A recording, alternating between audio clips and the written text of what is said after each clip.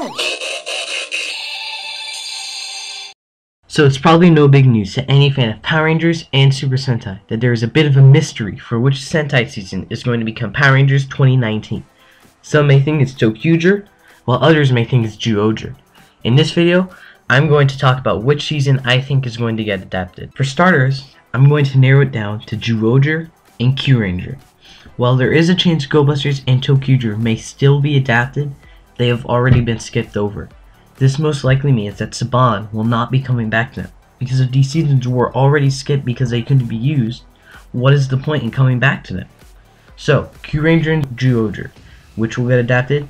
I've not seen Zyuohger, but does that matter at all when the American season could take a completely different route? No, not really. So we're going to start with Zyuohger since it came first. I'm going to really be covering what most collectors would purchase from a Power Rangers line, because there are too many products that are mostly aimed at children. Zyuohger was very lackluster when it came to gimmicks. All the sounds were pre-programmed into the morpher for all the toys, with no collectible gimmick. However, this can make for more show-accurate morphers with higher prices. There are four morphers that would get released during the show's run, and with each at 35 to $40 because of a better look, about $160 are made from them. The Zords for Zyuohger could also work really well in America.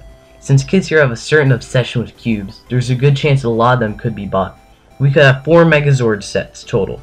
Zyuoh-King, Zyuoh Wild, Tousai Zyuoh, and Dodekai-Oh, each priced at $35, a standard Megazord price. Sprinkled throughout are the tiny auxiliary Zords, most likely priced at 10 each or in a 2-pack together. Then there's Cube Octopus and Cube Condor at 15 each as well since they're a little larger. Of course, with the reprints, there are many possible Zords, but I'm just thinking about the normal ones. That leaves us with about $210 on Zords. Onto the figures. Naturally, we can start off with 5 figures, one for each ranger. Then of course, we get the obligatory Megazord mode, bringing up to 10 figures. Then there's the upgrade form for the Red Ranger, and the 6th Ranger, adding 2 more figures. If they both get their own Megazord mode as well, 2 more figures.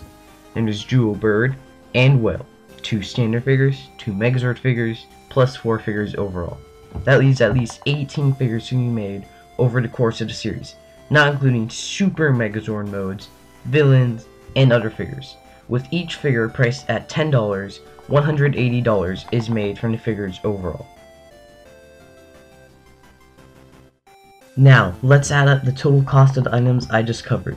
$160 plus $210 plus $180 plus another $180 for miscellaneous weapons, bikes, and figures that aren't completely targeted at kids. That leaves us with a grand total of $730 spent on a collector's basic essentials.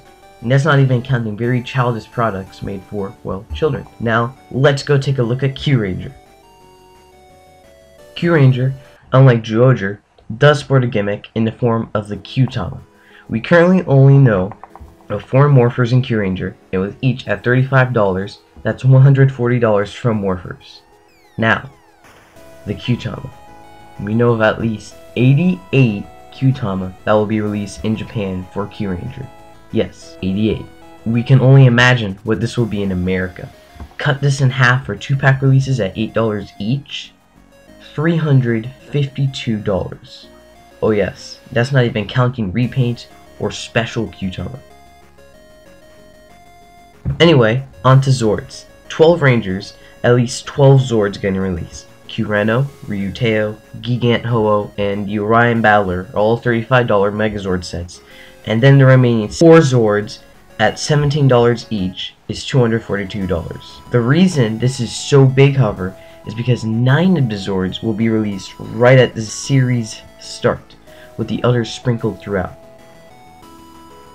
The action figures are going to be another important thing here. 12 Rangers, with the obligatory cockpit mode, equals 24 figures.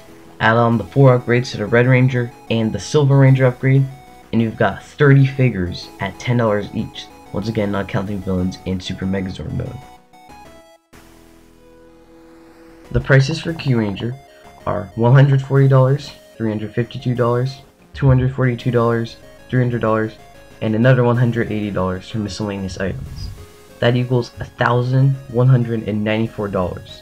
That's a whole lot of money that could be spent. Obviously, this means that Kyuranger has a lot more money that can be made from his toy line than Zyuohger. This means a bigger budget and most likely a better show. So, Kyuranger versus Zyuohger, Kyuranger wins in adapting Power Rangers 2019. But that's just my opinion, and I've shown a lot of facts. But what's your opinion? What do you think will get adapted? Show me in the comment section down below, and don't forget to like, subscribe, and share this video. Thank you for watching.